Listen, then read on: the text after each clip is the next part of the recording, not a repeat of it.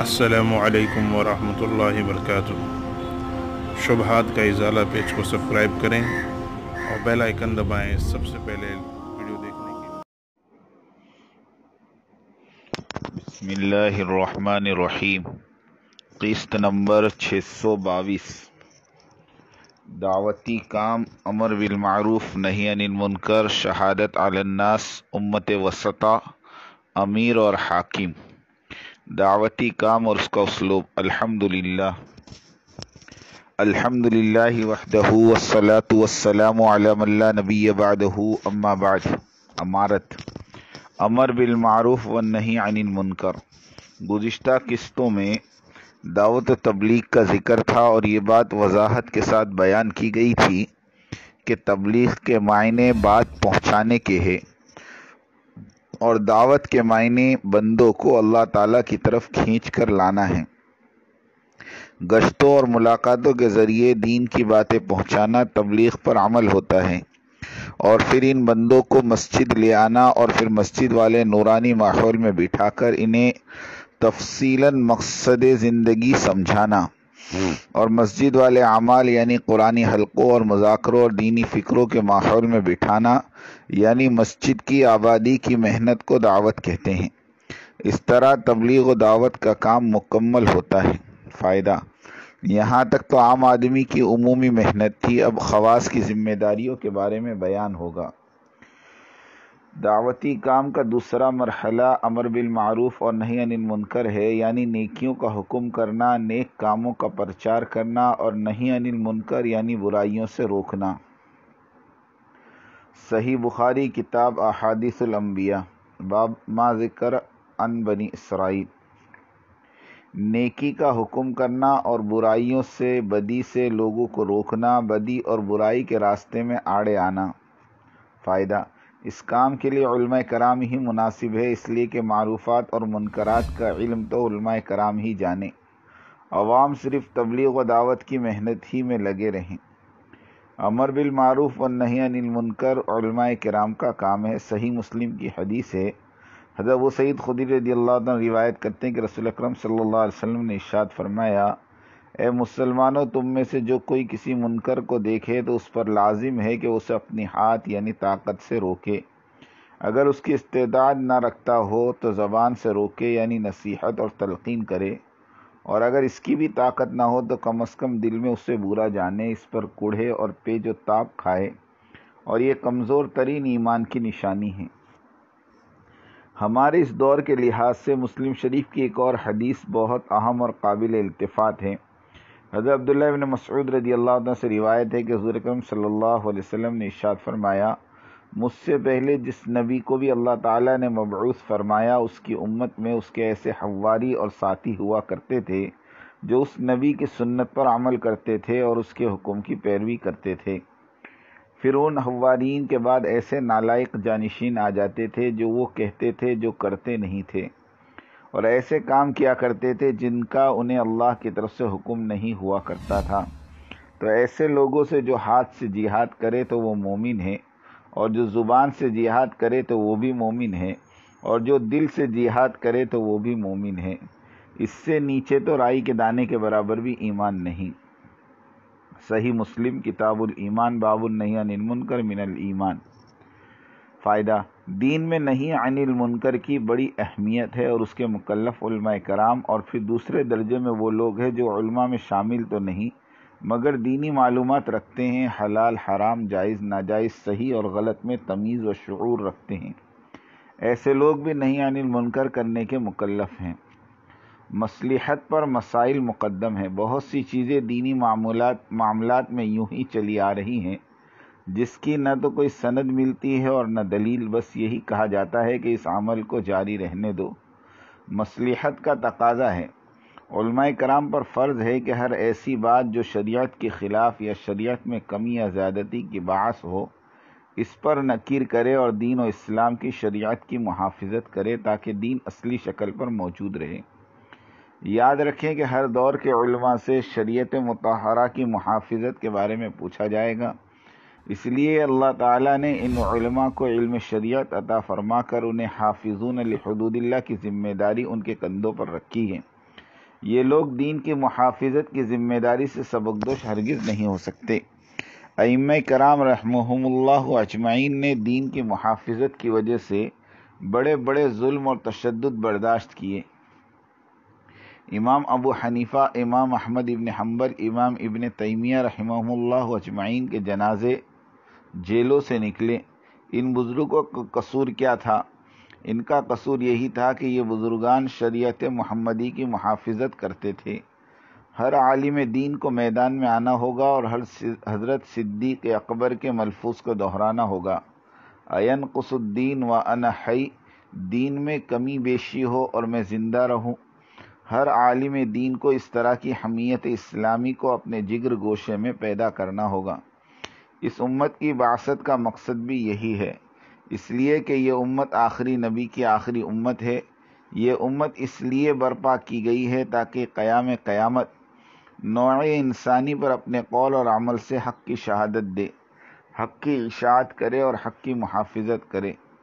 ارشاد الہی ہے وہ کزالی کا جعلناکم امتوں و سفر لتکون شہدا علی الناس و یقون رسول علیکم شہیدہ اور اس طرح اے مسلمانوں ہم نے تمہیں بہترین امت بنایا ہے تاکہ تم نوع انسانی پر گواہ ہو جاؤ اور رسول تم پر گواہ ہو جائیں۔ سورہ حج کی آخری آیت اس موضوع پر بڑی عظیم آیت ہے۔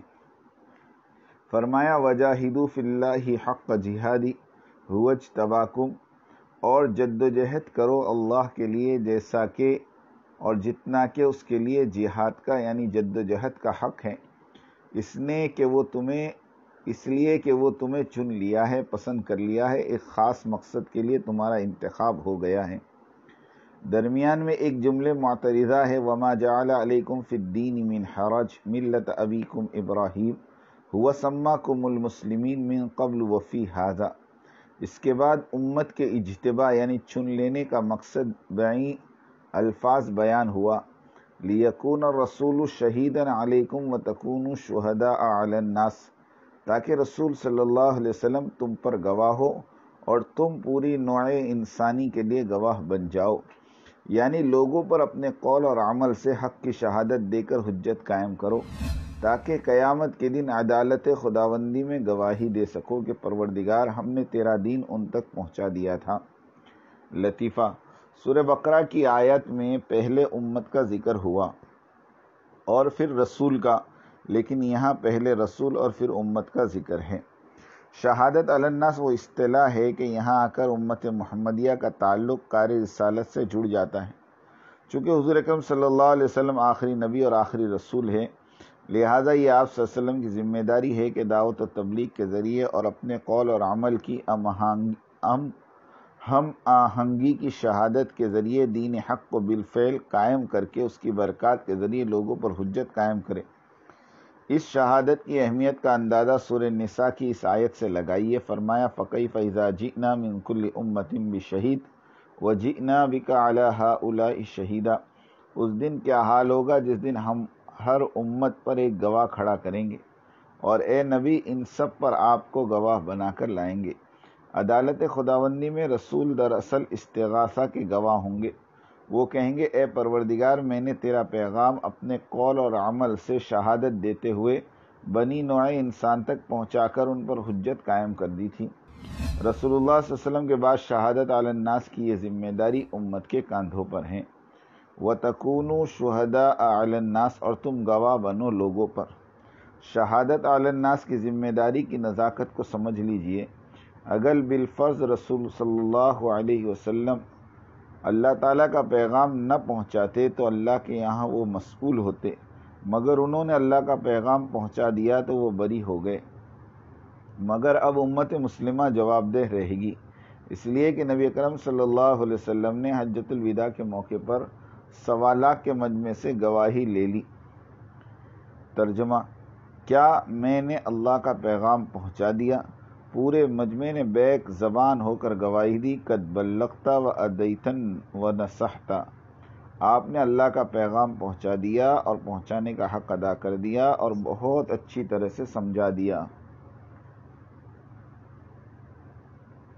تین بار یہ سوال و جواب ہوئے۔ اس کے بعد حضور اکرم صلی اللہ علیہ وسلم نے آسمان کی طرف اور پھر مجمع کی طرف اپنی انگشت مبارکہ سے اشارہ کرتے ہوئے تین بار فرمایا۔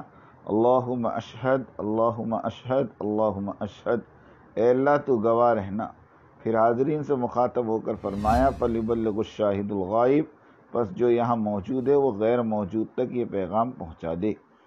امت کا اجتباع جہاں بہت بڑا اعزاز ہے، وہیں پر بہت بڑی ذمہ داری بھی ہے۔ اگر امت نے اس شہادت علی الناس کا فریضہ انجام نہیں دیا، تو بنی نوع انسان کی گمراہی کے وبال سے عدالت خداوندی میں بچنا محال ہو جائے گا۔ اور نبی کرم صلی اللہ علیہ وسلم کی گواہی ہمارے خلاف ہو جائے گی۔ امارت ضروری ہے۔ شیخ الاسلام علامہ ابن تیمیہ لکھتے ہیں کہ جب عارضی سفر اور قلیل ترین آبادی میں ایک شخص کا امیر بنانا لازم ہے، تو دوسرے تمام چھوٹے بڑے اجتماعات کے لیے رئیس اور امیر کا انتخاب بدرج اولا بہتر ہے۔ کیونکہ اگر سلطان ظالم ہے تو ساٹھ سال اس کے ظلم میں رہ کر گزارنا بہتر ہے۔ لیکن وہ ایک رات بہتر نہیں جس میں کوئی سلطان یعنی امیر نہ ہو اور طوائف الملوکی عوام میں انتشار اور بدنظمی پھیلی ہوئی ہو۔ مسند احمد کی روایت ہے کہ زمین کے کسی گوشے میں اگر صرف تین آدمی آباد ہوں تو اونچ اجتماعی قلیل میں بھی لازم ہے کہ اپنے میں سے کسی اہل کو دیکھ کر اپنا سردار یعنی امیر متعین کر لیں۔ شیخ الاسلام علامہ ابن تیمیہ رحمۃ اللہ علیہ لکھتے ہیں کہ جب اللہ نے وشاور ہم فی الامر کہہ کر نبی صلی اللہ علیہ وسلم کو مشورہ کرنے کا حکم دیا تو پھر امام وقت اور امیر کے لیے بھی ضروری ہے کہ وہ تمام معاملات میں اصحاب حل و عقد یعنی مشورے والوں سے مشورہ کر لیا کرے اور جس کی رائے کتاب و سنت سے زیادہ موافق ہو اسے قبول کرے۔ فائدہ کثرت رائے پر فیص کر، فیصلہ کرنا غیر اسلامی پارٹی یعنی شرائط کا عمل ہے۔ اللہ کے نبی صلی اللہ علیہ وسلم نے اشاد فرمایا، عادل بادشاہ عادل بادشاہ زمین پر اللہ کا سایہ ہے۔ صحیح حدیث میں حضرت عمر رضی اللہ تعالیٰ نے بڑے تجربے کی روشنی میں فرمایا، جب امیر قوم چرنے چگنے لگے تو پوری قوم چرنے چگنے لگتی ہے۔ مطلب یہ کہ جب امام اور حاکم قوم دولت کے حصول کے لیے غلط ذرائع اختیار کرتا ہے، رشوت اور خیانت کا مرتکب ہوتا ہے، تو حکام، عمال اور عوام میں بددیانتی، رشوت اور خیانت اور دوسری تمام قسم کی برائیاں فروغ پاتی ہیں۔ اس لیے امام و حاکم وقت حد درجہ امانت دار ہو۔ بیت المال کو حد درجہ محتاط اور دین کی ضرورتوں کے تحت خرچ کریں۔ حلقے احباب بڑھانے کے لیے اور دوسرے غلط مقاصد کے لیے قطعی خرچ نہ کریں۔ دین سے گہری وابستگی اور دین کی مناسب معلومات رکھتا ہو صالح متدین اور سوم و سلاد کا پابند ہو، اچھے اخلاق کا حامل ہو۔ فضن غلیظہ نہ ہو۔ رحم و کرم کا مجسمہ، شرافت و نیابت کا پیکر۔ معاملات کا ٹھیک ٹھاک ہو، اپنے اور پرائے کی تمیز کرنے والا نہ ہو۔ قوم و ملت کا ہمدرد، فقراء اور مساکین کی دیکھ ریکھ۔ اور ان کی نگہداشت کرنے والا ہو، اپنے ماتحت کام کرنے والوں کے ساتھ اچھے سلوک کا مظاہرہ کرنے والا ہو۔ قومی عصبیت اور تنگ نظری سے پاک ہو، سادہ زندگی گزارنے والا آ حضرت صلی اللہ علیہ وسلم اور خلفۂ راشدین کے اسوا پر چلنے والا ہو۔ حاکم اور امیر کی ذمہ داری۔ نمبر ایک، شریعت کی پاسداری اور دین کا تحفظ کرے۔ نمبر دو، جمعیت اور جماعت کی کلیدی عہدوں پر حد درجے قابل اعتماد اور دیانتدار افراد کو فائز کیا جائے۔ نمبر تین، یتیموں، بیواؤں اور مستحقین کو کی بیت المال سے ماہانہ وظائف کے ذریعے مدد کی جائے۔ نمبر چار، عدل و انصاف کو عام کرے، کسی فرد پر ظلم و زیادتی نہ ہونے پائے۔ نمبر پانچ، قوم اور ملت کے سرمائے پر اپنی مفاد کا شیش محل تعمیر کرنے۔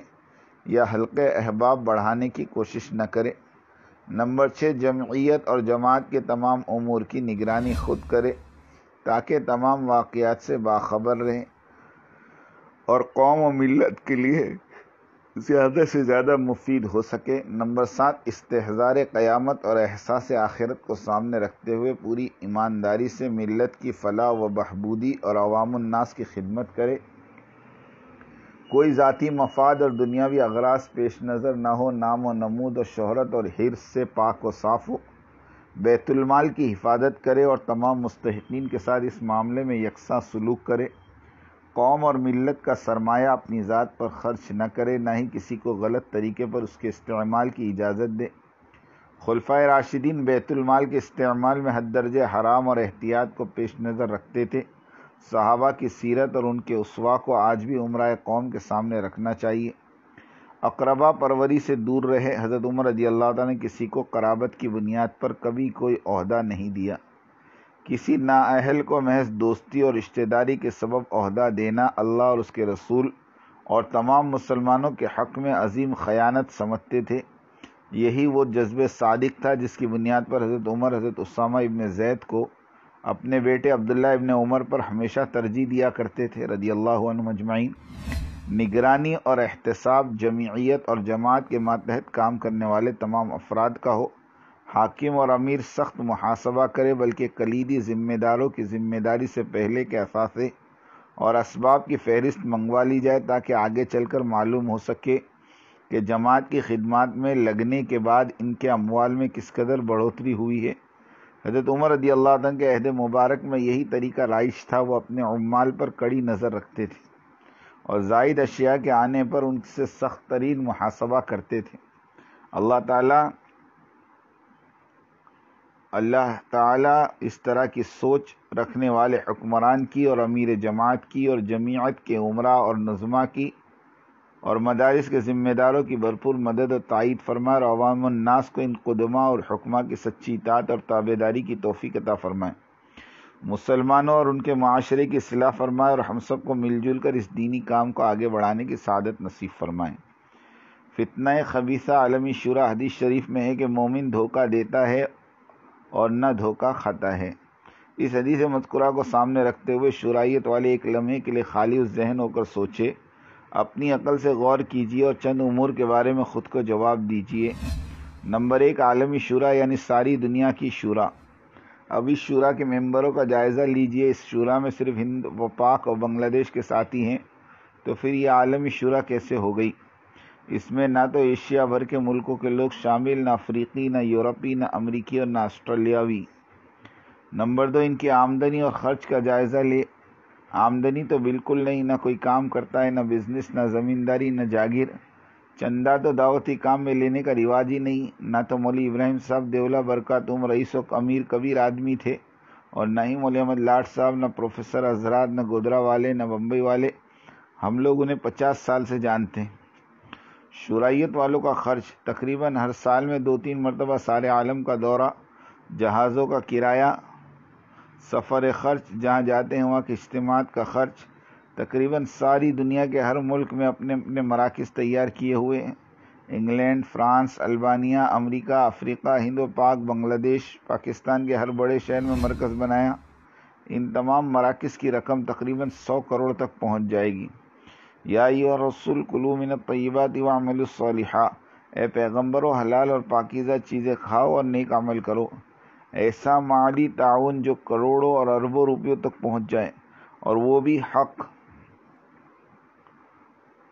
اور وہ بھی حق اور حلال والعمال یہ تو ناممکن بات ہے۔